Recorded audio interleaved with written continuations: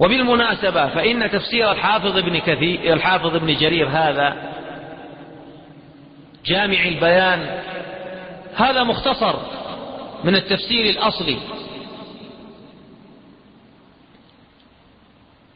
كان يكتب رحمه الله الحافظ ابن جرير كل يوم أربعين صحيفة.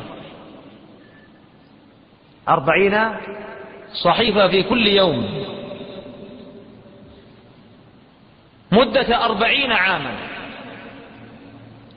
قالوا فجملة ما كتب خمس نعم خمسمائة وأربع وثمانين ألف صحيفة. ما كتبه بيده. فكتب تفسير حديث تفسير كتاب الله عز وجل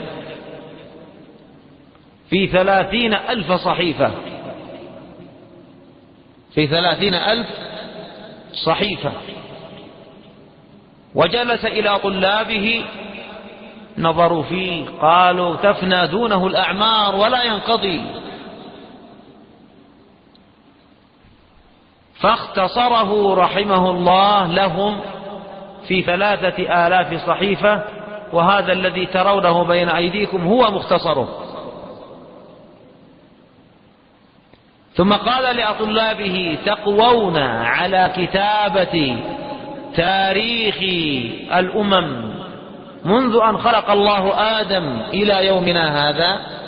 فيكم حيل كما يقال في الكتابة؟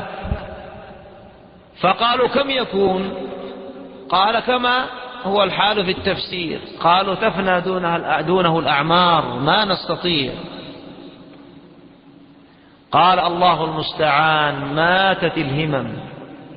فكتب هذا التاريخ المشهور بتاريخ الأمم والملوك له رحمه الله المشهور بتاريخ الإمام الطبري رحمه الله.